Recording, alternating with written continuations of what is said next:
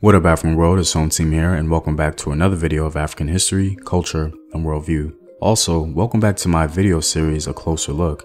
Today, we're going to be taking a closer look at the Samburu people of Kenya.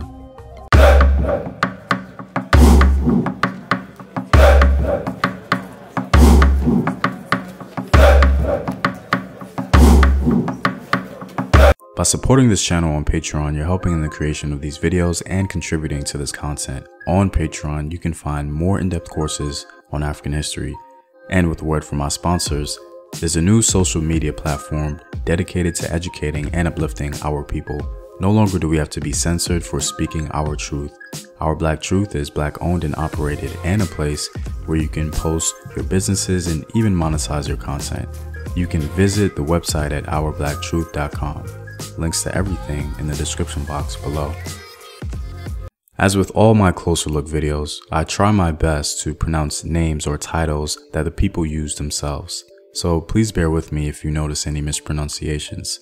Also, with videos like these, textbook knowledge on a particular ethnic group can be a little lacking sometimes. So, if you are from this African ethnic group, I would really appreciate additional insight, correction, or revised context so that we can truly understand these African people from the best available historical perspective. The Samburu people are members of the Nilotic language family and share many cultural practices with the Maasai people of Kenya. They are believed to number around 200,000 people. The name Samburu itself is thought to be a derivation of the Maasai word sambur, which is a leather pouch used for carrying meat and honey. This Maasai word sambur being applied to the Samburu people may suggest that the Samburu were once a hunting and gathering society. The Samburu people, however, refer to themselves as Loikop. In the 19th century, the Samburu were frequently called the Burkineji or people of the white goats. Their own name for themselves, Lokop or Loikop, and its meaning is an ongoing debate. It seems to mean something like owners of the land. The Loikop or Samburu are believed to have migrated from the Nile River in Sudan in around the 15th century. Today, they largely live in the northern highlands of Kenya's Samburu district. They practice pastoralism and they measure their wealth by the size of their cattle herds.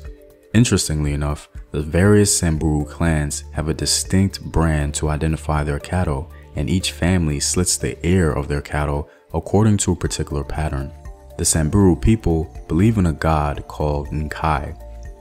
The Samburu god Nkai is associated with all of the forces of the world, especially the procreative. The word is itself feminine, as are many, though not all, of Nkai's metaphorical associations. A few people claim to have been taken to Nkai's home, and in these cases, Nkai is described as a family with men, women, and children. Men and women both participate significantly in religious life. Men and women have interdependent roles in major ceremonies, with women singing prayers and praises, while men perform most blessings. Both men and women pray to Nkai daily, asking for protection, human and animal fertility, and the rain and grass necessary for survival. The Samburu, like some other ethnic groups in the region, are known for their elaborate dress. Traditionally, Samburu warriors dress up in beaded necklaces, bracelets, and earrings as well as wear beaded headbands. Their hair tends to be elaborately dressed with red clay. Most Samburu wear two pieces of cloth, one wrapped around the waist and a second around the shoulders.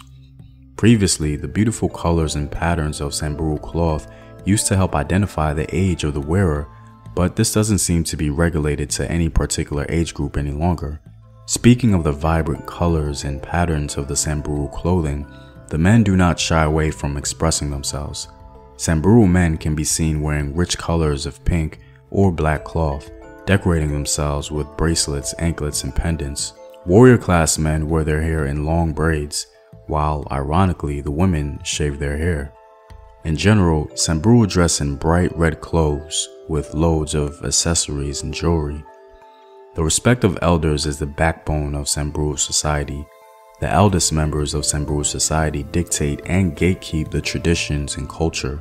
They have the last word in all matters and even have the power to curse younger members of the ethnic group. The elders are fully responsible in upholding law and order and are devout followers of Nkai's guidance.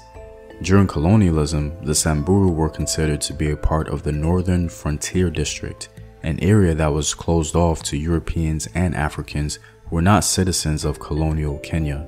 Although this isolation freed the Samburu from the more burdensome demands of the colonial government, independence brought an end to the NFD and an abrupt introduction to the politics and market economy of modern Kenya. While some Samburu have settled in towns in northern Kenya, most continue to live with their herds in rural areas.